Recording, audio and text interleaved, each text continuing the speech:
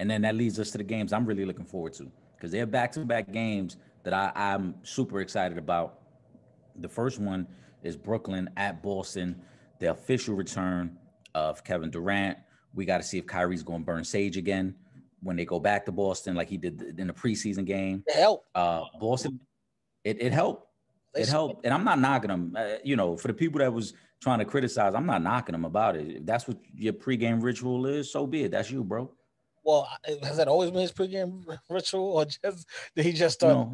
That was my, my my only question is that I'm not I'm not knocking him either because I'm I, am i am with using Sage, you know what I mean, around the house and and, and whatnot to clear out those spirits.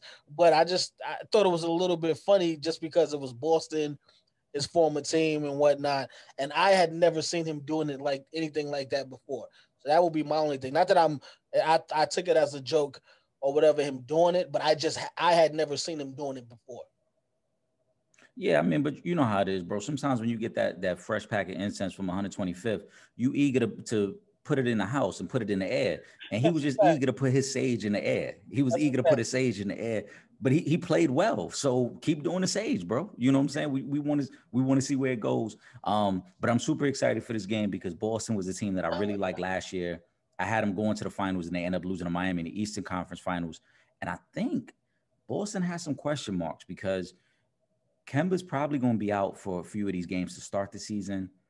Obviously, they, they don't have Gordon Hayward anymore, so they, they got to figure out a little bit of their depth issues, which they already had last year.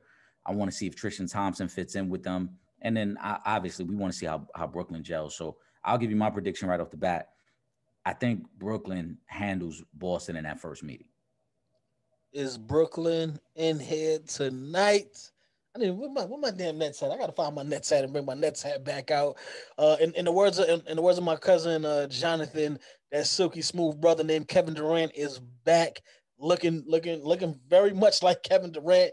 He got a dunk in the other night against against Boston. That was nice. He was shooting from the from everywhere on the court. Kyrie was looking well. LeVert was was doing his thing coming off the bench that Brooklyn team just looks really good. And like you said, Boston definitely has some holes in it. Um, I don't know, maybe maybe they they might need to try to throw their their hat in the in the James Harden race and uh and see if he can he can help out their organization. Um, I did, however, see that um shout out to to to, to our NBA insider uh, Scoop B uh, from Scoop B Radio and Heavy.com. He he uh, posted today that the Nets and uh, the Rockets are are opening the negotiation uh, talks back up for James Harden. Um, so we'll keep you guys posted on that. That might be their little Christmas gift uh, to themselves, picking up James Harden. Uh, but again, my pick for the game, I, I got to go Brooklyn. Just if I'm even just based off of what I just saw the other day in that preseason game versus Boston, and like you said, it's not like Kemba's gonna be back right now uh, for the start of the season. So, and because again, I know Kemba wasn't there for the game, but he won't be back either on Christmas Day. So I got to go Boston, and, and, it might get ugly. Motherfuckers, this is your African King of Comedy, Michael Blackson. You watching Real Friends, Real Talk. Get real with it, my son. Live from the camp. Uh huh.